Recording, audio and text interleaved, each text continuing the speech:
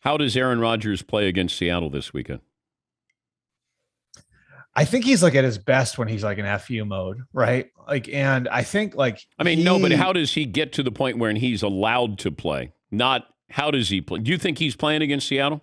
I do. Okay. Yeah. I mean, I, and look, like, like I will say this. I, I mean, one hundred percent. Like this is like if he has symptoms, whatever. I don't know about that, right? Like that's possible that you know, like the timing doesn't like he has another positive test, whatever, right? Like so he's got to get through the protocols first. But I think if he clears on Saturday, then I think he's going to play. And just having talked to Packers coaches about this over the last few days, I, I can tell you unequivocally, if they one of them said to me, if there's anyone in the league who can play without practicing during the week, it's Aaron Rodgers.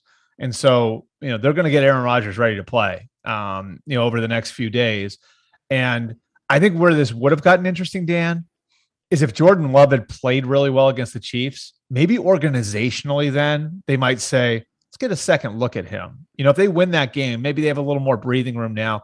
Let's take another look at what Jordan Love looks like out here. We can gather some valuable information and we can give Aaron the benefit of another week off. Mm. But I think based on the way Jordan, the way Jordan Love played now, like kind of the urgency of the situation the Packers are facing, they're going to do everything they can to get him ready. I think he's going to start on Sunday so long as he clears the protocols.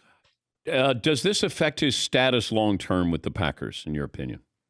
I think yes. Um, their handling of this situation is going to be really important. Now, the league's investigating this, right? So they're requesting all the video and they're like trying to gather every piece of like every piece of information they can about the way this went over the last three months.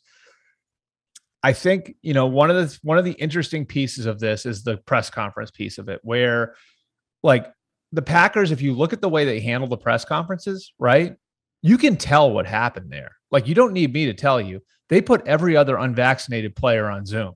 Every single other unvaccinated player was on Zoom. Only Aaron Rodgers was going to the going to the podium without a, without a mask on.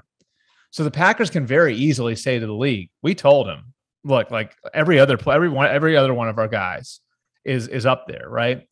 So how do they handle this now? Do they fall on the sword and say, you can talk to Aaron, we've got our players back?